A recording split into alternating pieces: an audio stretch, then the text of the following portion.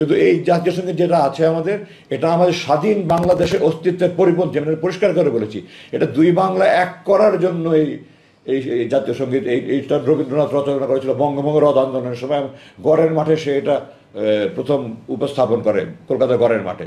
তো যেই সংগীত দুই বাংলা এক করার জন্য সংগীত, এটা কি করে স্বাধীন বাংলাদেশের জাতীয় সংগীত হতে পারে? এটা উনিশশো একাত্তর সালে ভারত আমাদের উপর চাপিয়ে দিয়েছিল এবং আমাদের অস্থায়ী সরকার প্রগতির হুকুমে এটা মেনে নিয়েছিল।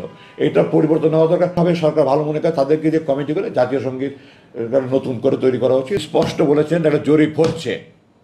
তখন তাকে জিজ্ঞাসা করা হয়েছে যে আপনার অনুমান কত? তো শেখ সাহেব তো দশ তারিখে মুক্তি পেয়ে লন্ডনে ভারত থেকে হয়ে ঢাকায় এসছেন। ওনার তো তখন অনুমান করার কোনো সুযোগ ছিল উনি তো জানতেনই না দেশে কী হয়েছে।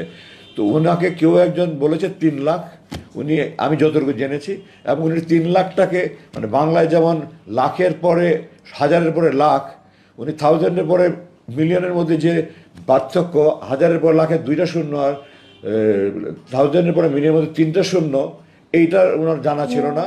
এই কারণে উনি থ্রি মিলিয়ন বলেছেন। তিন লাখ টাকায় সেইভাবে তিরিশ লাখ হয়ে গেছে। এটা তিন লাখটাও সঠিক সংখ্যা নিয়ে কিনা, পাঁচ লাখ হোক, দশ লাখ হোক, একটা সঠিক জরিপ হতে হবে। জরিপ না হয়ে একজন ব্যক্তির কথার উপরে একটা দেশের ইতিহাস তৈরি হতে পারে না, তিনি যেই হোক।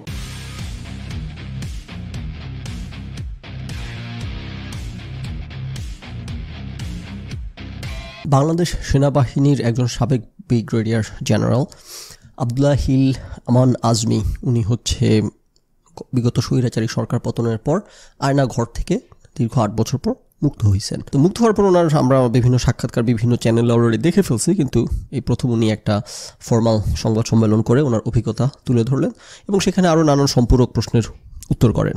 তো সেখান থেকে ওনার দুইটা কথা নিয়ে বেশ আলোচনা সমালোচনা হচ্ছে। একটা কথা উনি বলেন যে মুক্তিযুদ্ধের নিহতের সংখ্যা নিয়ে আর একটা কথা হচ্ছে উনি মনে করেন যে বাংলাদেশের জাতীয় সংগীত পরিবর্তন করা দরকার। এই কথাগুলো বিতর্কিত কিনা, বিতর্কিত বা যদি বা হয়ও সেটাকে কীভাবে আমাদেরকে ট্যাকেল করতে হবে করা উচিত। এবং আরেকটা একটা সেন্সিটিভ অ্যাঙ্গেল অনেকের কাছে, সেটা হচ্ছে, এই ভদ্রলোক সাবেক জামাত ইসলামের আমির গোলাম আজমের সন্তান। যে গোলাম আজমের ব্যাপারে অভিযোগ আওয়ামী লীগের ফর দ্য মোস্ট পার্ট অভিযোগ হচ্ছে উনি যুদ্ধাপরাধী ছিলেন বা বাংলাদেশের স্বাধীনতা বিরোধী ছিলেন। সেই কারণে তো ওনাকে শেষ পর্যন্ত ট্রাইব্যুনাল বসায়, সেই প্রহসনের এগুলো তো আমরা সকলে জানি। মেক নো মিস্টেক এই যে একটা সেন্সিটিভিটি তৈরি করা হয়েছে গোলাম- গোলাম আজমকে নিয়ে বা জামাত ইসলামকে নিয়ে, এটা কিন্তু সম্পূর্ণ একটা রাজনৈতিক বাগান্ডা যারা আধুনিক প্রজন্ম, কি জানি বলে নতুন প্রজন্ম জেনজি তোমরা কিন্তু তাহলে গেলে হবে না। জামাত ইসলাম যদি রাজাকার দল হয়ে থাকে এবং গোলাম আজম যদি রাজাকার হয়ে থাকে, তাহলে by that standard Awami League এবং শেখ হাসিনাকে কতবার এই দেশ থেকে ব্যান করা কতবার ফাঁসি দেয়া তাদের পাওনা হয়ে বসে আছে রাইট জামাত ইসলামের একটা রাজনৈতিক অবস্থান ছিল, তারা কি জানি বলে, অভিযুক্ত পাকিস্তানে নিরাপদ বোধ করতো, সেটা তাদের একটা চাওয়া, মত মত যে কোনো স্বাধীন দেশের নাগরিকের চাওয়া থাকতেই পারে। প্রশ্ন হচ্ছে, তারা কোনো অন্যায় অনাচারে জড়িত ছিল কিনা, কোনো অপরাধে জড়িত ছিল কিনা? যারা অপরাধে জড়িত ছিল, তাদের শাস্তি হবে? যারা এইরকম অপরাধে তো মুক্তিযোদ্ধারাও জড়িত ছিল। তাহলে কি এখন আমরা মুক্তিযোদ্ধাদেরকে ব্যান করে দিব? মুক্তিযোদ্ধারা কিন্তু ওই যে এখন যেরকম আজকে ইয়ে শুরু হয়েছে না, ওই যে অভিযান, সেনা অভিযান, যৌথ বাহিনীর অভিযান আজকে কিন্তু রাত থেকে বাংলাদেশে শুরু হয়েছে। কী কারণে অভিযান? জানেন নাকি? খবরাখবর পড়েন তো আশা করি হ্যাঁ? এটার কারণ হচ্ছে এই যে বাংলাদেশের অভ্যুত্থান উত্তর সময় অনেক অস্ত্র অস্ত্র লুটপাট হয়েছে, সেগুলো জমা দেওয়ার জন্য একটা ডেডলাইন দেওয়া হয়েছিল। যারা সেই ডেডলাইনের মধ্যে জমা দেয় নাই, তাদের বিরুদ্ধে এখন অভিযান শুরু হয়েছে তো এই যে অস্ত্র জমা না দিয়ে অভিযান এইটার কারণে মনে পড়ে গেল আর কি। একাত্তর সালে স্বাধীনতা যুদ্ধের পর বাংলাদেশের মুক্তিবাহিনী অনেক এরকম অস্ত্র জমা না দিয়ে সেই অস্ত্র নিয়ে এলাকায় ঘুরে ঘুরে ফান্ডামি করছে। তো তাহলে এখন মুক্তিযোদ্ধাদেরকে রাজাকার বলব? তা না, মুক্তিযোদ্ধারা মুক্তিযুদ্ধ করছে, তার মধ্যে একটা কেউ কেউ হইতেছে, ফান্ডামি করে বেড়াইছে হ্যাঁ? একইভাবে অনেকের রাজনৈতিক অবস্থান ছিল অবিভক্ত পাকিস্তান। তারা মনে করতো যে বাংলাদেশ স্বাধীন হইলে পাকিস্তানের কাছ থেকে পৃথক হয়ে গেলে, এই স্বাধীনতা হয়তো বাংলাদেশ ধরেও রাখতে পারবে না। ভারত আলটিমেটলি দখল করে নিবে, যেটা হয় না এখন পর্যন্ত। ওকে ফাইন মেবি তারা ভুল ছিল। মেবি সেটা তাদের একটা রাজনৈতিক অবস্থান, তাদের একটা নাগরিক স্বাধীনতা তো আছে নাকি? নাকি এখন আমরা সেই বাহাত্তরের বাকশালে বসবাস করতেছি? ও আচ্ছা চোদ্দোর ফ্যাসিস্টের আমলে বসবাস করতেছি ওকে তো সেটা তাদের একটা রাজনৈতিক অবস্থান, সেটা তাদের একটা নাগরিক অবস্থান, তাদের সম্পূর্ণ রাইট আছে। প্রশ্ন হচ্ছে, তারা কোনো অপরাধ ক্রিমিনাল অ্যাক্টে জড়িত ছিল কিনা, যারা ছিল, তাদের শাস্তি হবে, যারা ছিল না, তাদেরকে এই রাজাকার রাজাকার বলে এইভাবে করে মার্জিনালাইজ করা, মানবতা বিরোধী অপরাধ করা, এদের সাথে, এদের বিরুদ্ধে করা যাবে না। সুতরাং চেতনাবাজরা এখানে যে একটা অ্যাঙ্গেল ঢুকানোর চেষ্টা করতেছে, যে গোলাম আজমের ছেলে কথা বলার, না না, এটা কোনো অ্যাঙ্গেল না। সেটা হলো সবার আগে চেতনাবাজগুলোকে এখন জেলে ভরতে হবে। ভদ্রলোকের ব্যাপারে যে অ্যাড হোমিনিং অ্যাটাক হচ্ছে, সেটা আমরা অ্যাড্রেস করলাম। এবার যদি ওনার দাবিগুলোর ব্যাপারে আসি দুইটা বিষয়। একটা হচ্ছে মুক্তিযুদ্ধের নিহতের সংখ্যা নিয়ে যেটা উনি বললেন, উনি ভুল কিছু বলেন নাই। সারা পৃথিবীর ইন্ডিপেন্ডেন্ট রিসার্চাররা কিন্তু এটাই বলে যে বাংলাদেশের মুক্তিযুদ্ধে নিহতের সংখ্যা তিন লাখের বেশি না। শুধু ভারতের মতো দেশ যারা প্রি একাত্তর পোস্ট একাত্তর থেকে এরা এই আওয়ামী লীগের এইসব পান্ডামির মধ্যে যুক্ত এবং এখনও করে যাচ্ছে পান্ডামি সেই ভারতের টাইমস অফ ইন্ডিয়া রিপোর্ট করতেছে যে মুক্তিযুদ্ধে দুই লক্ষ সত্তর হাজার লোক মারা গেছে। তিন লক্ষ না, দুই লক্ষ সত্তর হাজার। Two hundred sixty nine thousand people died in Bangladesh war says new study একটা ইউকে বেস স্টাডিতে এবং শুধু তা না, তারা বলতেছে যে আগে ধারণা করা হইতো যে আগে ইন্টারন্যাশনাল যেই ইন্ডিপেন্ডেন্ট ইয়েগুলা এস্টিমেটগুলো সেগুলো অনুযায়ী মুক্তিযুদ্ধে নিহতের সংখ্যা ছিল আটান্ন হাজার। Earlier estimates of casualties during the Bangladesh war war in the region of fifty eight thousand ঠেলে ঠুলে তিন লাখেও তুলতে পারে নাই, দুই লক্ষ উনসত্তর হাজার। এগুলো থামাই দিলে হবে না। ইতিহাস বিকৃত তো আওয়ামী লীগ বহুদিন ধরে করল রাইট প্রকৃত সংখ্যা যে আমরা তাই জানতে চাই। আমাদের বাড়ানোরও দরকার নেই, কমানোরও দরকার নেই, যেটা জেনারেল আজমি বলছেন। সুন্দর কথা বলছেন। উনি বলছেন যে, কারও মুখের কথা আমাদেরকে মেনে নিতে হবে কেন? এটা নিয়ে ইয়ে হবে। জরিপ হবে, এটা নিয়ে গবেষণা হবে রিসার্চ করে বের করে নিয়ে আসতে হবে আমাদেরকে। একটা মন গড়া কথা বলে দিল, সেটা নিয়ে আমরা দৌড়াতে পারতো না। এবার আসি জাতীয় সঙ্গীতের ব্যাপারটা নিয়ে। এই যে নানান রকম হ্যারেটিক কথাবার্তা বলা ব্লাস ফেমাস কথাবার্তা বলা, একেবারে পবিত্র মান মন্দিরের সাথে সাংঘর্ষিক কথাবার্তা বলা এই কথা বলার পরিমাণ বাড়াইতে হবে। আরও প্রচুর পরিমাণে এই দেশে শেখ মুজিবুর রহমান, জিয়াউর রহমান, শেখ হাসিনা, খালেদা জিয়াকে থুন্দুবার গালি দেওয়ার চর্চা চালু করতে হবে। পবিত্রতাগুলোকে প্রশ্ন করার অধিকার রাখতে হবে জনগণের। যার যা ইচ্ছা মনে, যা চায়, যা বলতে মন চায়।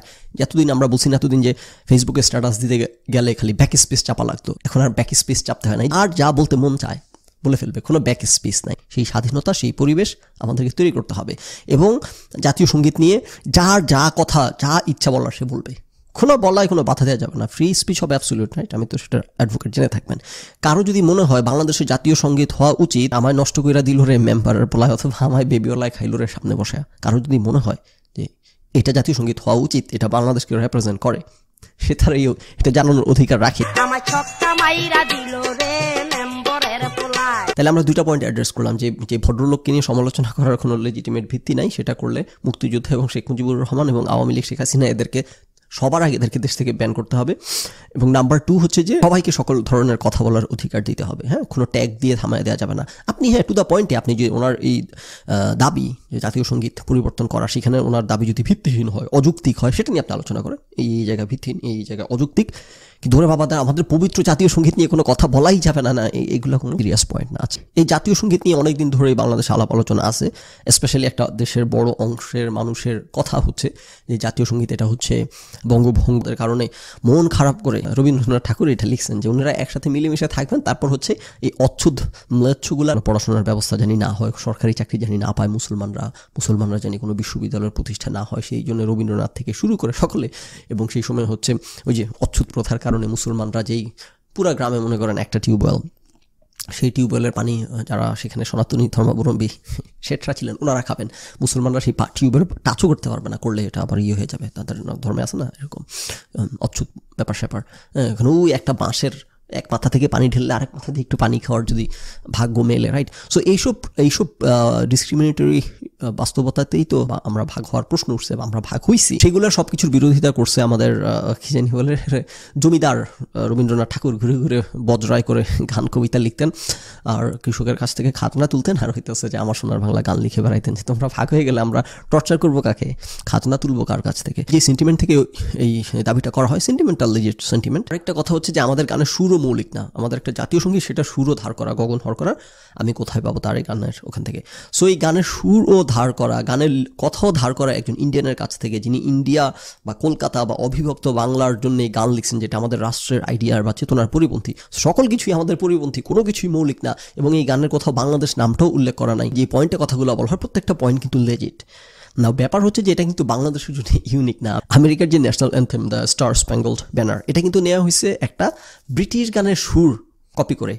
দ্য অ্যানাক্রিয়ন ইন হ্যাভেন একটা গান, সেটা হচ্ছে একটা পার্টি সং ওই যে বারে মটত খাওয়ার এই টাইপের একটা পার্টি সং সেই গানের সুর নকল করে আমেরিকার জাতীয় সঙ্গীতে বসানো হয়েছে। এবং সেই গানটা হইতেছে আবার একটা ব্রিটিশ গান।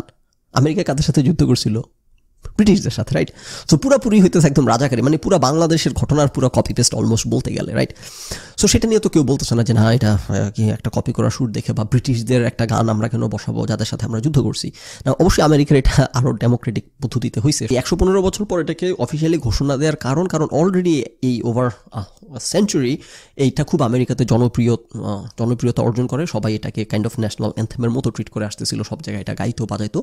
তো সাধারণ জনমানুষের চাওয়া, পছন্দের প্রতি রেসপেক্ট দেখাই কিন্তু এটাকে ইয়ে করা হয়, জাতীয় সংগীত হিসেবে ঘোষণা করা হয়।